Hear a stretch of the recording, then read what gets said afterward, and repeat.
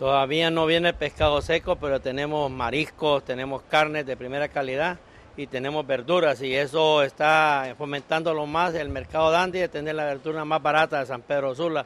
El marisco también, tenemos marisco de primera calidad, así como también carnes que nos va a permitir a los ampedranos saborear algo bueno para esta Semana Santa. Hay preocupación, dicen las amas de casa, ¿será que va a venir muy caro el pescado seco, Ricardo?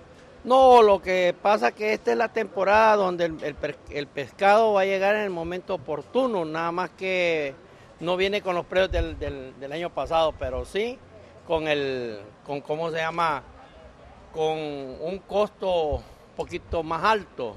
Pero creo que cuando la gente mira que es muy alto, ellos, ellos establecen el precio el, consumidor establece el precio cuando me está muy alto. O sea, no hay pescado seco aquí en el mercado, por ejemplo en el Dani, pero sí hay eh, mariscos, eh, camarones, caracol, jaibas. Tenemos de todos los mariscos, hasta pulpo hay aquí. Tenemos mareño, pescado mareño, así como pescado tilapia, tenemos camarones, tenemos langosta.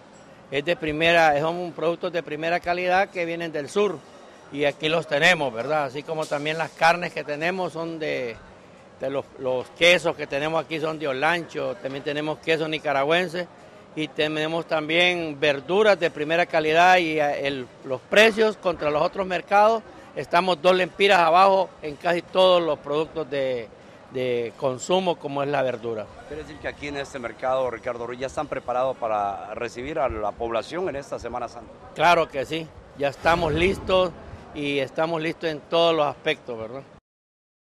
Jorge Pérez, Gustavo Ardón.